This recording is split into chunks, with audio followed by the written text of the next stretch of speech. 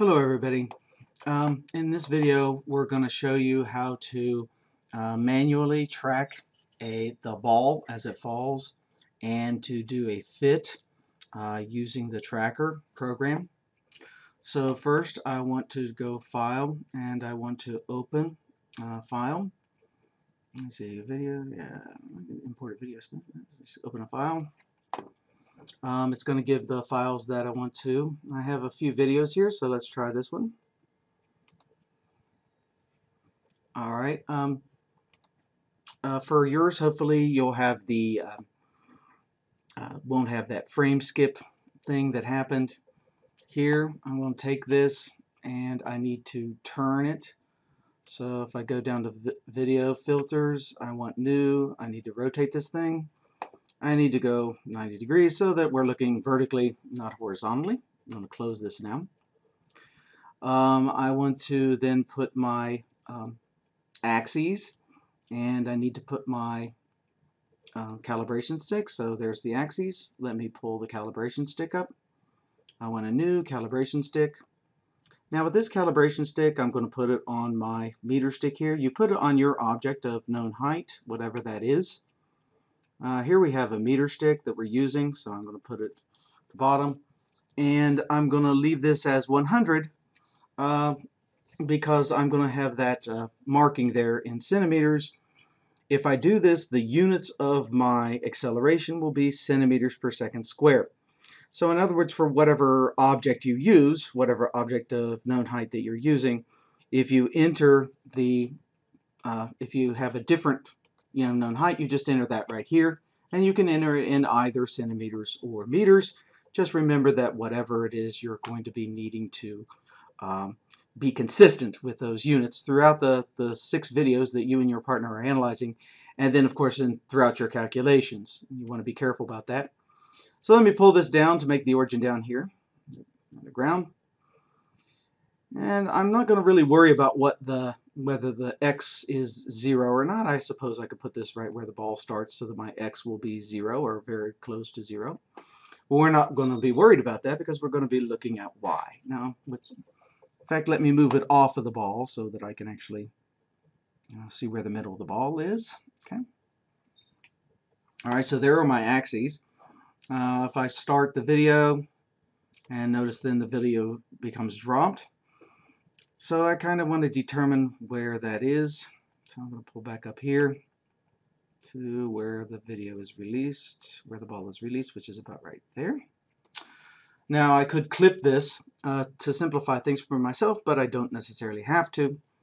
What I am going to do is I'm going to uh, go ahead and create the mass. So let's create the mass. I want the point mass. And I want to go ahead and even change this plot, so I don't even want to fool with myself. I want the y uh, component of the position here, not the x. So then I understand right there, I'm going to change it. So I want to now zoom in here. Now that I have that point mass, notice it goes back to the beginning of the video. I need to forward this until the ball starts, so I won't be clicking here all day. So now I need to zoom in a little bit here. Zoom in, I'll say 100%, that's good. And now to manually track, you push shift, which turns the arrow into a little target, click on the center of the ball, and it will automatically move the time step forward. And we'll click again, click again, click again, click again, click again, and to keep clicking.